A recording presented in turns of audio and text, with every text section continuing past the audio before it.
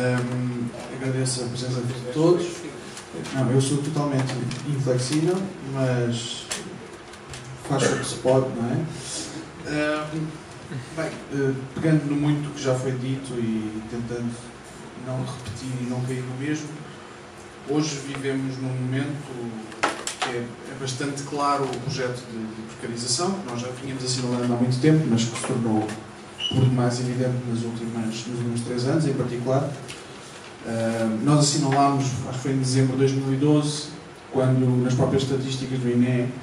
e fazendo um cálculo simples, já a maior parte da, da força de trabalho do país já, já era constituída por relações de trabalho atípicas, portanto, já a maior parte da força de trabalho era precarizada. Uh, claro que desde então a situação agravou-se, apesar de das fabricações e de,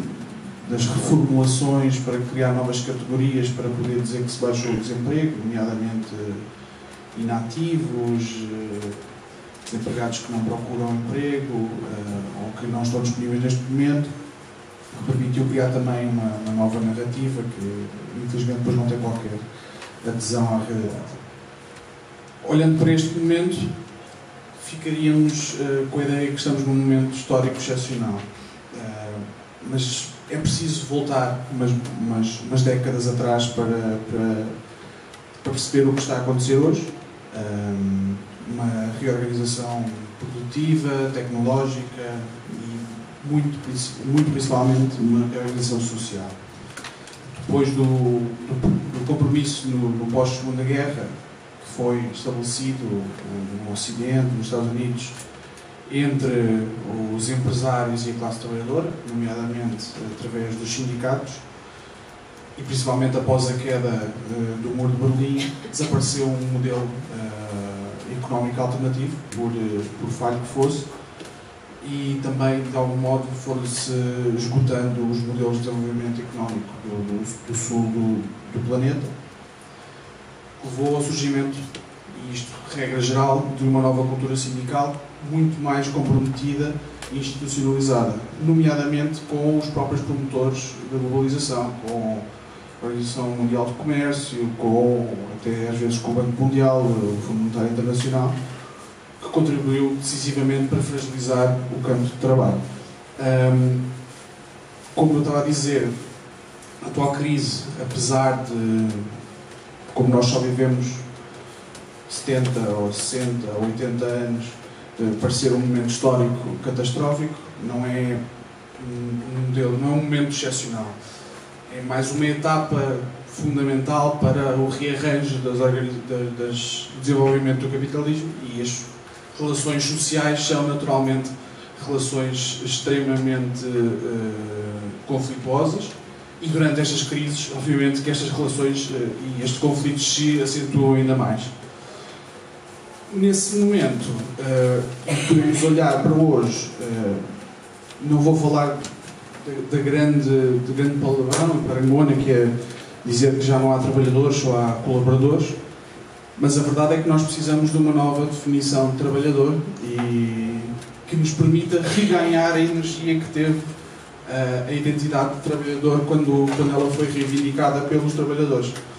Um, hoje há muito mais relações difusas e indiretas, mas que nós conseguimos, com uma análise relativamente simples, ainda assim uh, reparar na sua dependência no processo de produção. E isso é uma grande fragilidade da maioria dos sindicatos e que felizmente tem mudado, que é uh, achar que o contrato é o ónus da sindicalização e o ónus da, da, da, possibilidade de organização. Quando a relação de dependência, a relação ou a, a, a, posição dentro do processo de produção é muito mais importante e é o que de facto determina uh, qual o papel dessa pessoa, não só dentro da empresa, como dentro da própria sociedade. Uh, Parece-me que hum, nós vivemos numa fronteira, nós em particular, trabalhadores mais precarizados, vivemos numa fronteira do trabalho entre uma identidade e a outra. Há várias uh, correntes em, em, em, em, competição para poder apropriar-se dessa, dessa identidade mas é nestas fronteiras, não só a fronteira em termos de trabalho, mas mesmo fronteira geográfica. Nós encontramos na fronteira, encontramos no, na periferia do desenvolvimento capitalista europeu, onde uh, já houve um grande avanço uh, em termos sociais e houve mesmo ganhos reais, salariais nas últimas décadas, e em que hoje tudo, tudo volta para trás, e portanto é mais um local de contradição máxima, dentro de uma crise de contradição máxima. E se olharmos para o que, foi, para o que foram as lutas do século XIX, quando se fundou com mais uh, solidez a própria identidade do trabalhador, vemos que é nesse, é nesse momento, são nessas fronteiras que se desenvolvem as forças sociais alternativas que desafiam, que subvertem e que mudam uh, as estruturas e as estratégias que têm sido utilizadas e que, como o próprio, como o próprio Manuel tinha, tinha dito, as próprias instituições, umas poderão ser reformadas, outras seguramente uh, vão deixar de existir.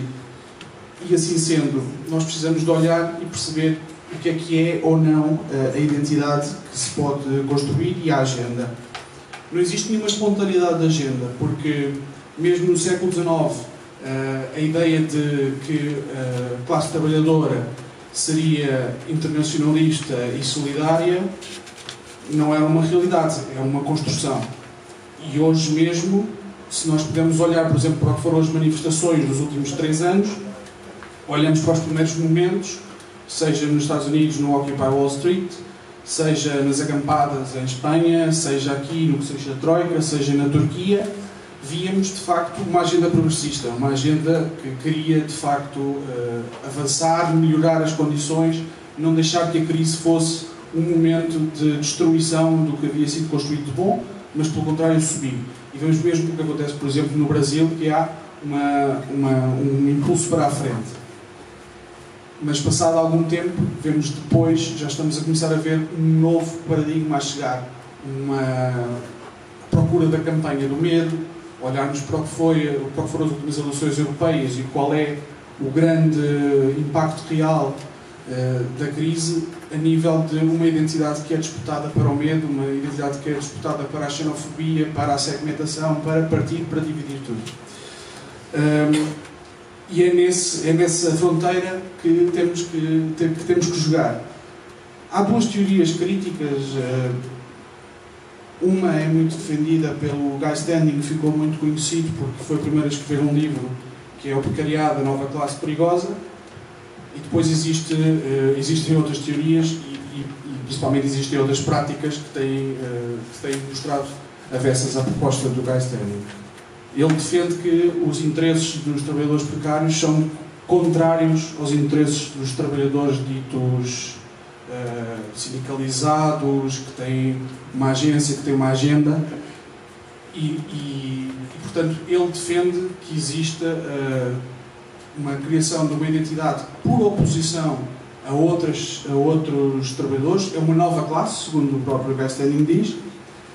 Uh, infelizmente, para ele, uh, as práticas têm sido bastante diversas disso. Eu posso falar, por exemplo, do caso de Portugal, uh, do caso não só dos precários, enquanto os precários inflexíveis e a Associação de Combate à Precariedade, que desenvolveu uma prática de ligação permanente, de contacto permanente com várias organizações, organizações sindicais, outros movimentos sociais, organizações a nível internacional, e que não reivindicam uma agenda exclusivamente para si, mas uma agenda para a sociedade e uma agenda progressista. Se olharmos, por exemplo, para a Espanha, para o 15M, para a oficina precária, se olharmos para o Brasil, se olharmos para o que foram as jornadas de, de junho do ano passado, para o que foi o movimento Passe Livre, uh, também tem uma proposta progressiva para a sociedade e, e é, neste, é, nestas contradições máximas que, nos calhou viver. Uh, e o grande desafio para os sindicatos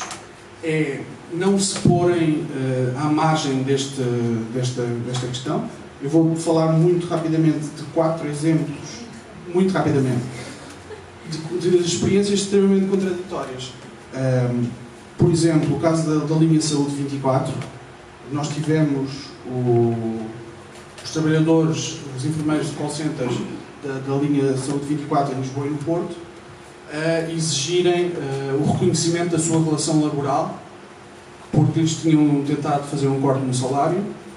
eles vieram falar com, connosco, com os precários, eh, nós eh, disponibilizámos para ajudá-los, obviamente, e o sindicato, em todos os momentos, pôs de lado desta, desta circunstância. Chegou a dizer publicamente que os trabalhadores eram verdadeiros recibos verdes, chegou a. negociou com os trabalhadores, com, o, a, com, a administração. com a administração da Saúde 24, sem autorização dos trabalhadores, sim, do Sindicato dos Enfermeiros uh, Portugueses, Curiosamente, este mesmo sindicato é responsável pela regularização de trabalhadores a falsos recibos verdes em diversas outras circunstâncias. Portanto, uma contradição muito peculiar. Se olharmos, por exemplo, para o que foi ontem, uh, ontem uh, a, PT, a administração da PT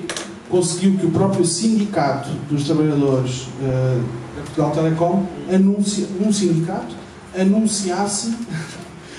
estas, todos estes, estes detalhes são importantes, mas conseguiu que fosse um sindicato a anunciar o despedimento dos trabalhadores em outsourcing, que nem é anunciado como um despedimento, é simplesmente anunciado como um corte em outsourcing,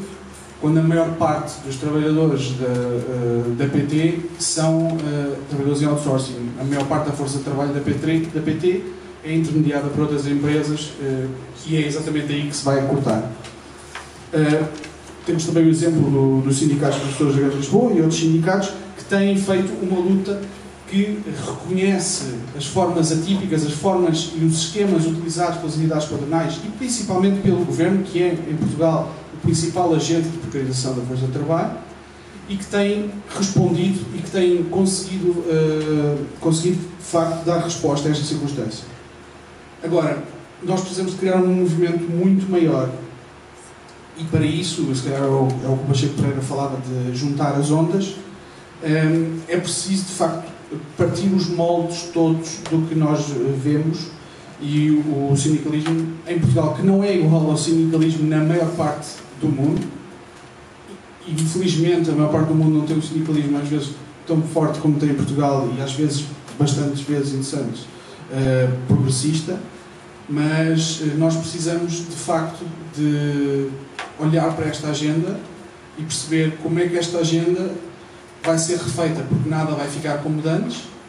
e quem está cá para, para fazer a disputa, que nem sequer está ganha a disputa que não vai ser um novo precariado que responda a esse apelo da, xenofobia, esse apelo da violência, esse apelo do ódio, esse apelo de partir tudo, que é essa a grande proposta, é esse o grande consenso neoliberal. Uh, e é esse o desafio que temos pela frente, uh, sindicatos e organizações de trabalhadores precários, e, e é isso.